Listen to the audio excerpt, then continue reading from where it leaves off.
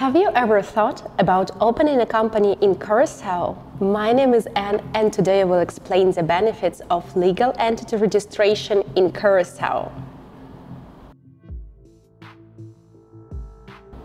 Curacao is the southern Caribbean Sea, together with sister islands Aruba and Bonaire.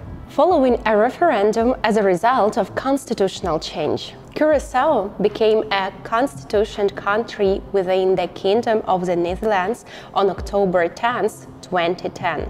Consequently, Curacao now controls and manages its own internal affairs as an autonomous country with special areas being managed by the Kingdom, such as extradition, defense and foreign relations. Curacao is the largest of the six islands in the Caribbean that together constitute the Caribbean part of the Kingdom of the Netherlands. In 2001, Curacao enacted e-zone legislation which offers an advantageous fiscal framework. The purpose of the economic zones e-zones in Curacao is to promote Curacao as an international business hub, both as an international distribution center and as international e-commerce center. There are two different types of e-zones in Curacao. First, you have two specific zones where goods can be stored, proceed, assembled, packaged, released and traded. And second zones where international trade and its supportive services may be performed on the condition that these activities are supported by electronic communication and electronic information equipment. FX B2B Hub can register your company within 2-5 business days. A local legal address is required for the legal entity in Curacao.